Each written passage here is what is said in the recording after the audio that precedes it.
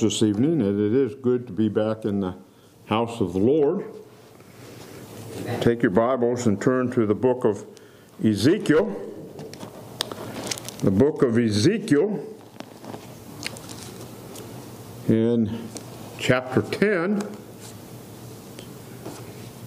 And we're getting close to finishing up this chapter.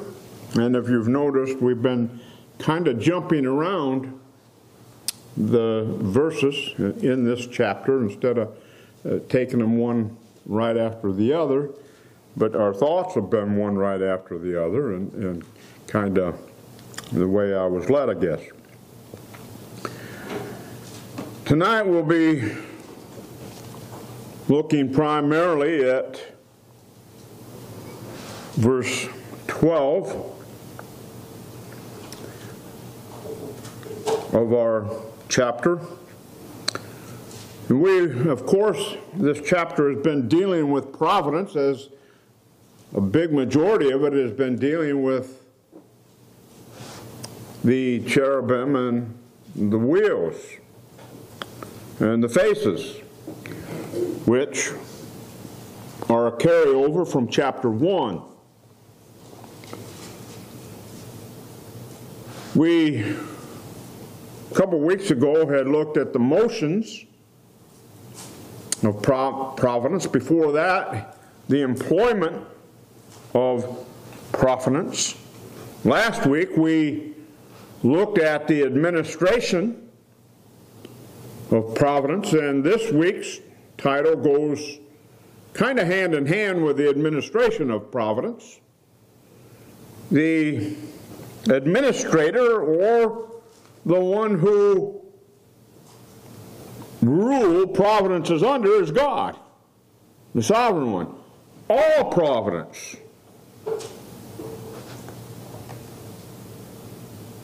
is administered by him, and so as being administered by him is under his sovereign rule. That is, he did, as we looked at last week, and many of the verses, he dispenses it as he wills, as he pleases, as he deems necessary to accomplish his purpose. Not my purpose or your purpose, but his purpose. Let's read verse 12 tonight before we go much further. This and their whole body, that's talking about the cherubim and their backs and their hands and their wings and the wheels were full of eyes round about, even the wheels that they four had. What do you see as you look at that verse? well, the, the first thing that jumps out at me here is they're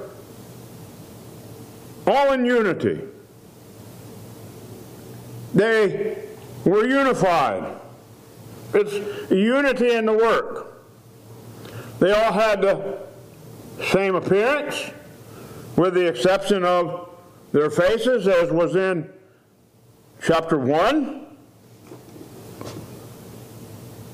Same appearances that we see, with the exception of their faces, and we determined that that was even the same, even though it, it mentioned the one of a cherub, the face of a cherub. We determined that it was the face of an ox, which was what was missing from chapter 1. So they all had the same appearance with the exception of their faces, and they were united in the work as one. Well, that makes sense, does it not? Remember, they, they moved, they went when the Spirit went, and the Spirit was in them all.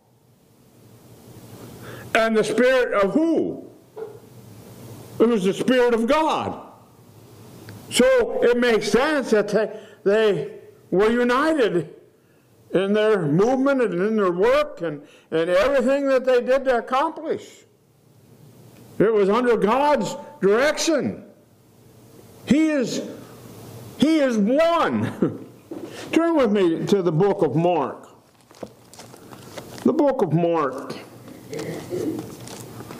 and chapter 12.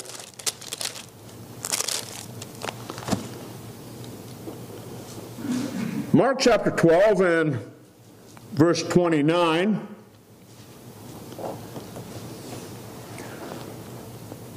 We read, And Jesus answered him. That is the one who had come to him, one of the scribes, a rich young ruler. And Jesus answered him, The first of all the commandments is Hear, O Israel, the Lord our God is one Lord. one. Whether he's manifesting himself as God the Father or God the Son or God the Holy Spirit is one. They are one. And you will not find the Son going, the manifestation of the Son going contrary to the manifestation of the Father, or you will not find the, the, the Holy Spirit of God, the Spirit of God going contrary to God the Father. Amen. And that's why Jesus said, I do always those things that please my Father. Oh, that you, oh, that I could say that tonight, that did always those things that please my Father. That's my prayer daily.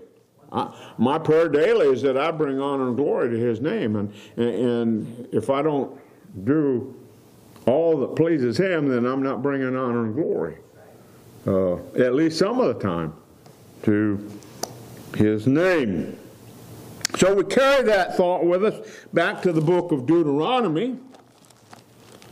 And, and actually, we could, we could carry it on back to Exodus, the 20th chapter, but we'll just go to Deuteronomy in chapter 6, and, and where Moses is uh, summarizing their experiences. Chapter 6 and verse 4, we read, Hear, O Israel, the Lord God is one Lord. He's one. And that, isn't that what Jesus just quoted? Jesus in Mark chapter 12 and verse 29 just quoted this portion of Scripture from Deuteronomy chapter 6 and verse 4. Turn with me now to the 32nd chapter of Deuteronomy. The 32nd chapter of Deuteronomy.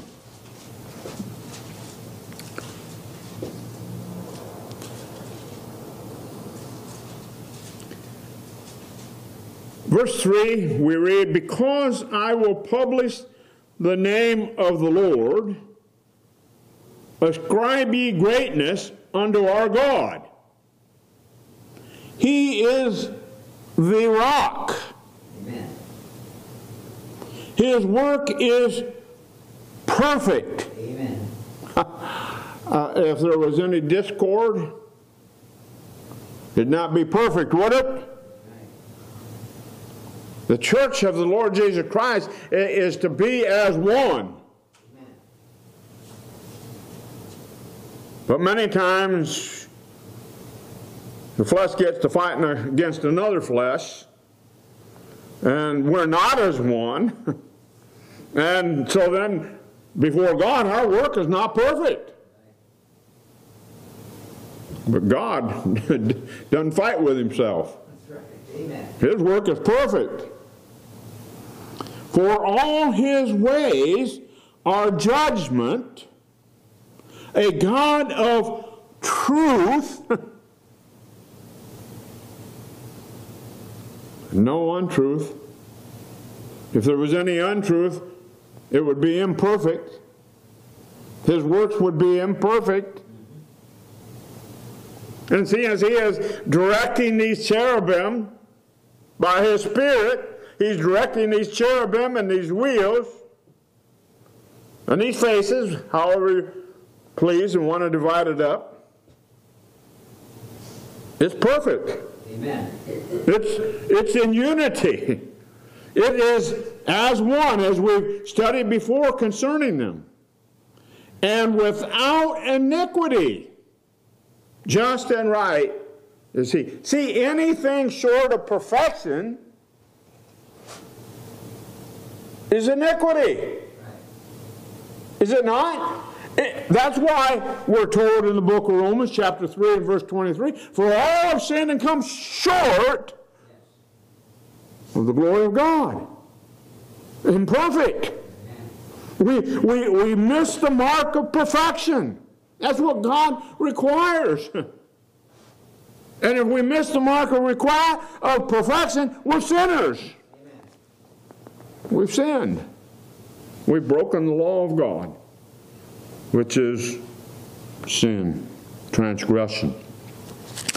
So jumping down now to verse 39, verse 39 of the same chapter, after all these verses in between and everything that is said, he says, See now that I, even I, am He. I'm that Lord God. I'm that rock. I'm that one whose work is perfect. I'm that one in whom is truth. You see, I am He. And there is no God with me. I kill and I make alive. I wound and I heal. Neither is there any that can deliver out of my hand. Listen, he, he, he just went to the providence of God there. I kill, I make alive. That's God's providence.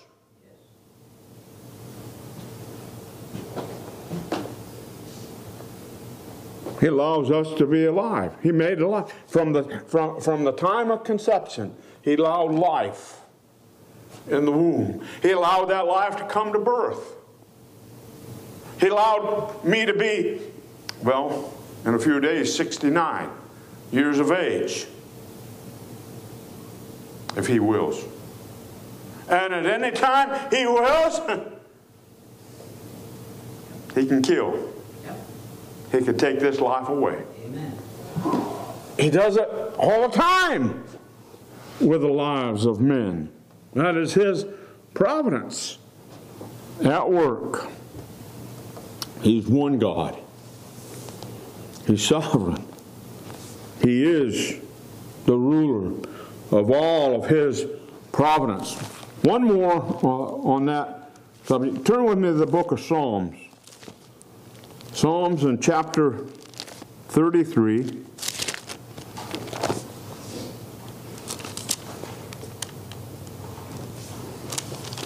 Psalms 33 and verse 4. For the word of the Lord is right,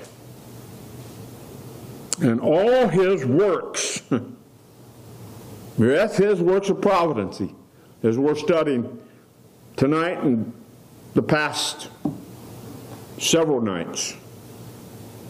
All his works are done in truth. That tells me that they're done in unity, they're done in oneness, they're done under his leadership, under his guidance, under his will, under his good pleasure, his desire.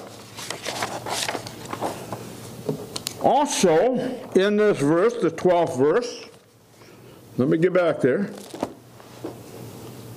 We notice that God is omniscient. Do we not? That is, He's all knowing. He said, they were full of eyes round about, even the wheels that they four had, full of eyes round about. Well, in the, uh, in the first chapter, what, what did we read there? In the first chapter in verse 18, it, it, similar statement, only we might think that it wasn't full of eyes round about, but uh, here's what it said in the first chapter in verse 18. As for their rings, that is the rings that were around the wheels, they were so high that they were dreadful, and their rings were full, full of eyes round about them four. In other words, all four wheels were full of eyes, all, all around them, all about them. They were full of eyes. Well, being full of eyes, that does that not speak of God's omniscience? Of his ability to know everything that's going on? He knows. He sees. There's nothing that is hid from the eye of Almighty God. Turn with me to Second Chronicles. Second Chronicles, and you ought to know this passage of Scripture well. Second Chronicles, in chapter 16.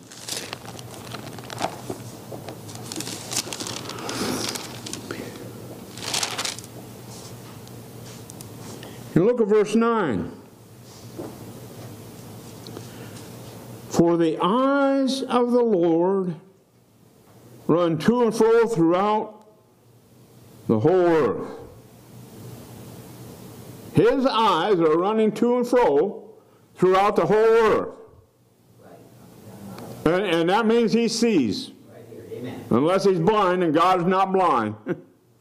Let me assure you, he's not blind. Don't you think for a minute he's blind. Because he might just show you otherwise. You see? His eyes are running to and fro throughout the whole earth to show himself strong in the behalf of them whose heart is perfect toward him. Herein thou hast done foolishly, therefore from henceforth thou shalt have wars. I mean, they did foolishly. The verdict on, on them was they done foolishly because, because they, they thought that God didn't see, God didn't know. And he here is letting them know that he did see. His eyes are running to and fro throughout the whole earth to show himself strong. Do we know, are we aware And we say, yes, we're, we know, we are, we're aware that God sees all. but are we aware of it every moment of the day? No, we go on about our lives a lot of times like, like we're not aware of it. Like, as we've said before, just because I'm hiding it from Brother Ron I think I'm home scot free. But no. Just because I'm hiding it from Brother Ron, there's still one who sees and knows. God sees. God knows. And He's the one to whom we're all, whether saved or lost, we all have to give an account one day before Him. Turn with me to the book of Job. The book of Job. In chapter 34.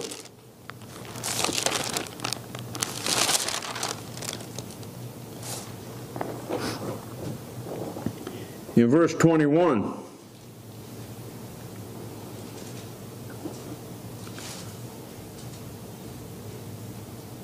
Here the Word of God records for us the comments that Elihu made when he said, For his eyes, referencing God, are upon the ways of man, And he seeth all his goings. Yep. And, and not just upon the saved. Right. His way, his eyes are upon man. All man. And furthermore, as it applies to, to our text, his eyes are upon all his creation. He, he, he knows all about his creation. He knows about every star up there. There's not a star falls from the sky, but what he doesn't know it. Right. Amen. We talk about the passage in the New Testament about not a hair from our head falls to the ground without him knowing it. We're- We're more precious than, than many sparrows, Yes. and there's not a one of something little insignificant as a sparrow that falls to the ground, but what God doesn't know it. And he says, You're more valuable than many sparrows. And then he says, Not a hair of your head falls to the ground without your Father Amen. Knowing about it. He's aware of it all. His eyes are upon all his creation. Those something little and insignificant as a as a little bird, a sparrow, the insects, all of it. Amen. His eyes are upon it. And it's under his control. Turn with me to the book of Psalms. The book of the Psalms in chapter 11. And these are just a few scriptures that I picked out to read tonight. That- the Word of God is full of scriptures concerning the what God knows. He knows it all. He's, so therefore, he's omniscient. Omni, which means all. Omniscient, which means knowledge. He's all knowing. All knowing. He has all knowledge.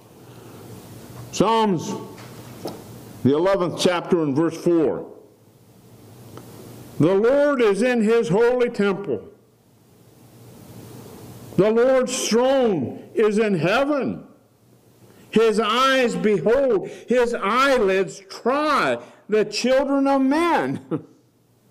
I mean, hi- his eyes not only behold, his eyes not only see, but his eyelids try, it says, proves men. Oh. We, we worship and serve A great God. a great God, Amen. a great God. Amen. We need to see that. And yes, in our text, Ezekiel is, is beholding it. This is this is the this is some of the portion of what, what God is showing Ezekiel. But as we as we go on, it's not only Ezekiel he's showing. He's going to show this, he's showing this to Israel. That he sees and he knows. They thought they could hide it from the eye of God. They thought he didn't he didn't know, and if he does know, he doesn't care. Remember that back in the eighth chapter? Thought he didn't care.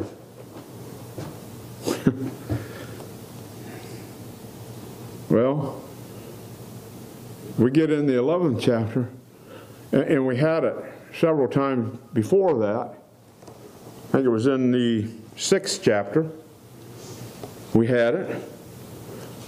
That they may know that I am the Lord. See, that's the purpose of this. That they may know that I am the, that you and I might know that He is the Lord. He's the sovereign. He's in control. He rules over all of His providence. He rules over all of His works. And all of His works are perfect, as we've already read tonight. One more on this subject. The book of Proverbs.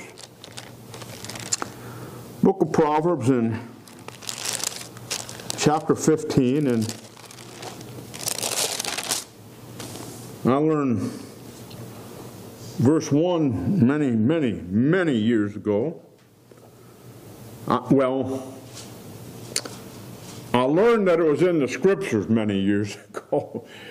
I haven't always, can, can I always say that I've learned the principle of verse 1 A soft answer turneth away wrath, but grievous words stir up strife. But we want to look at verse 3.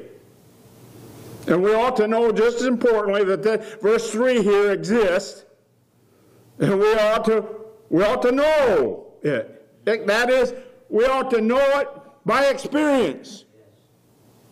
Verse 3 The eyes of the Lord are in every place, beholding the evil and the good. Beholding the evil and the. Listen, he, yes, he sees what, what, when I do those things that please him, but he also sees when I don't. Right. Amen. He also sees when I don't. Mankind. And he's, he's beholding He's beholding the good that He's created in all of His children tonight, and He's beholding the evil that is in the unbelievers. Those who are perishing, those who are in darkness, who, as John chapter 3 says, are already condemned. You see, because they, why? Because they believe not.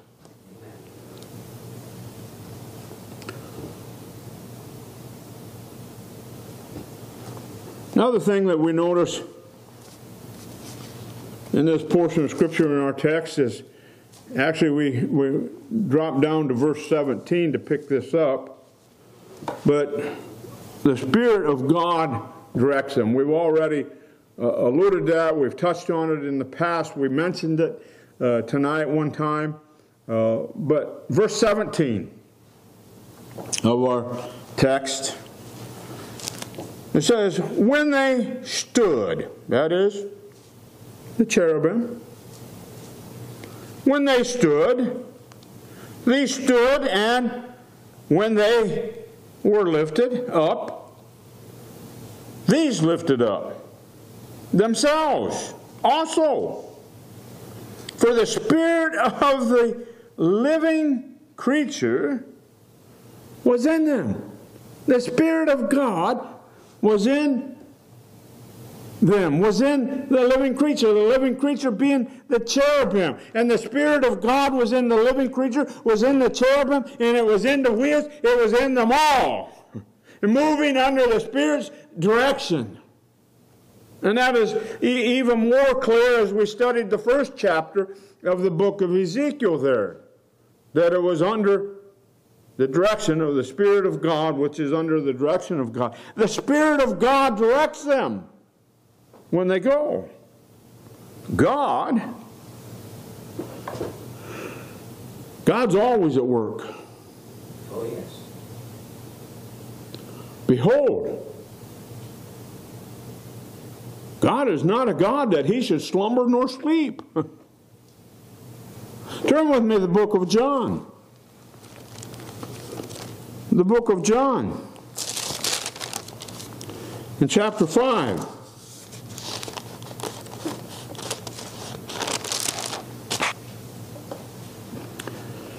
In verse, uh, verse 17. But Jesus answered them, My Father worketh hitherto. Who's the Father of Jesus? God the Father. God. God the Father. And I work. And I work. As we already started off this, this, this message tonight, they're one. Yes. There's one God. One. Amen. And, and not only does the Father work hitherto and the Son work hitherto, but the Spirit also. God is, is always at work. Whether he's manifesting himself as the Father, or whether he's manifesting himself as the Son, or whether it's a manifestation of the Holy Spirit of God. He's always working. And you think about you think about all of this creation, the heavens and the earth. Well, there ain't no man big enough to handle it.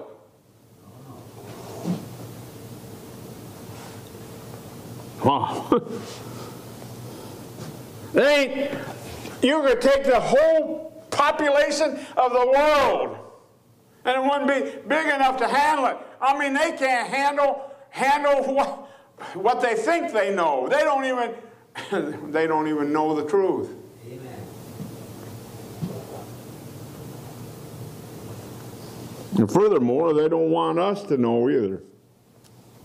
They want us to be all confused. Like I said, well, like I was telling my mother this week, the right, right hand lies, the left hand lies. All men are liars. God's not a liar. Amen. You know, we can't trust man. We can't put put confidence in what man says. But we can count on what God says. Amen. It is truth, as we've looked at tonight. And He works, always at work in this vast universe. Verse 17 said, For the spirit of the living creature was in them. Was in them. They, they have the same spirit. The same spirit. Not one spirit in the living creatures, and another spirit in the wheels, and another spirit in the faces. One. Amen. They have the same spirit. And God directs all, all, everything, according to his divine purpose, which was purposed before the foundation of the world. Turn with me to the book of Ephesians. The book of Ephesians in chapter 1.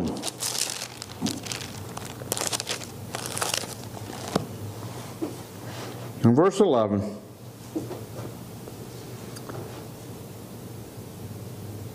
well, I guess we need to read verse 10. That is the dispensation of the fullness of times. He might ga- gather together in one all things in Christ, both which are in heaven and which are on earth, even in Him, in Christ, that is, God is working, in whom also we have obtained an inheritance, being predestinated according to the purpose of Him who worketh all things after the counsel of His own will. After the counsel of His own pleasure, desire, purpose, Yeah. His will. And He's working everything according to that divine desire, pleasure, will that He hath. Turn with me to the book of Isaiah. The book of Isaiah. In chapter 46.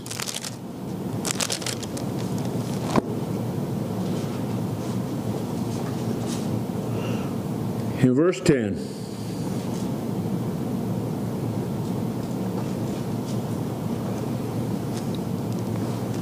Declaring the end from the beginning, and from ancient times the things that are not yet done, saying, My counsel shall stand, and I will do all my pleasure. His counsel from ancient times, from eternity, is going to stand. And all his pleasure shall be done. Turn with me to the book of Jeremiah.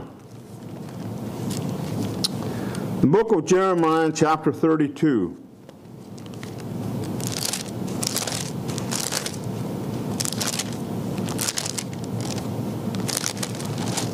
Look with me here at verse 19.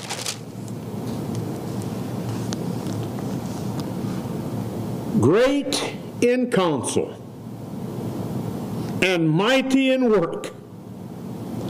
For thine eyes are open upon all the ways of the sons of men, to give every one according to his ways and according to the fruit of his doings. God is giving to each one, every one of us, according to His pleasure, according to His will, what He desires and pleases. And that according to man's works. In other words, that whatsoever a man soweth, that shall he also reap. You want to reap good things? then you better be sowing good things. You want to reap, you don't care what you reap, you go ahead and sow, as, you, as say, your wild oats. Your wild oats. and you'll reap of those wild oats. His counsel stands. His purpose stands. And He is great in that counsel. Do we see Him great in His counsel, in His purposes, in His plans? Well, we do as long as everything is going what we consider to be good. But I'll be honest with you, there's some things that just don't seem to be so good. And then we don't think he's doing so good. We don't think he's so great in that counsel, do we? Well, he said it was for our good. He said it was for our good. If we're born again, if we're called by him, that's for our good. You see. And he determines what is good. All right, we'll quit there tonight. Next week we'll go on and we'll be looking at the glory of God removing, departing. He hadn't, dep- he hadn't departed yet. We saw in the ninth chapter indications that, that he's getting ready, he's moving. He's, he's getting ready to move out of there. In the 10th chapter, we see more indications that his moving, his, his getting ready to get out of there. And then in the 11th chapter, we see him leaving the city. Our dear Heavenly